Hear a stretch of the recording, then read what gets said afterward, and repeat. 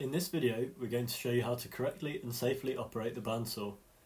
The bandsaw allows you to cut plastics and wood in curved or straight lines. This makes it a pretty versatile piece of equipment. Before using the bandsaw, you will need to familiarise yourself with the operation of the machine and its safety systems. The blade is guarded by a blade guide. This guide should be adjusted to allow the material to slide underneath, while keeping a maximum distance of 1 cm between the top of the material and the bottom of the guide. When you're done using the bandsaw, please extend the guide down to the bed. When pushing material through the bandsaw, it is important to keep your fingers out of the cutting area, which is marked here on the bed. Use a push stick where necessary, and keep any loose hair or clothing tied back when using the machine.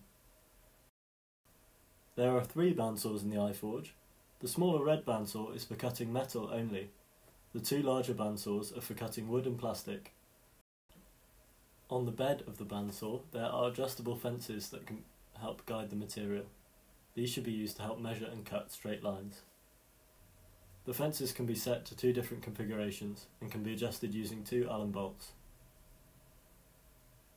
The bed angle can be adjusted as shown. Please ensure you return the bed to the normal position when you're done with the machine. A dust extraction unit is located next to the bandsaw this must be turned on when operating the machine, as wood and plastic dust can cause health issues when inhaled.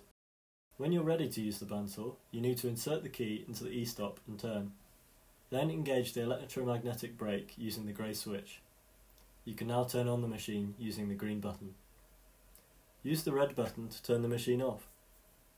You can also use the emergency stop to turn off the machine. This needs to be pulled out and reset before the machine can be restarted.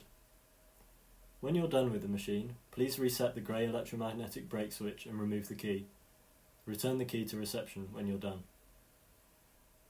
There are a number of risks involved in operating the bandsaw. We will go over some of these potential risks and describe how to minimise them. Some of the risks include laceration to hands or fingers when using the machine. This risk can be reduced by adjusting the guide to the proper height every time. Avoid putting your hands too close to the blade by using a push stick and use fences where appropriate. Another risk is entrapment of loose hair, clothing or jewellery. This can be avoided by tucking in any baggy clothing, keeping long hair tied back and by removing any jewellery. There is also a risk of debris or material being ejected from the machine. You must wear safety glasses at all times and use the guards and guides. Another risk is particle inhalation. This can be wood or plastic dust kicked up while cutting. To mitigate this, you must ensure the dust extraction is switched on and please wear a face mask. Remember, if you're feeling unsure about operating the bandsaw and need advice, please come to Ask an iForge rep and we'll be more than happy to help.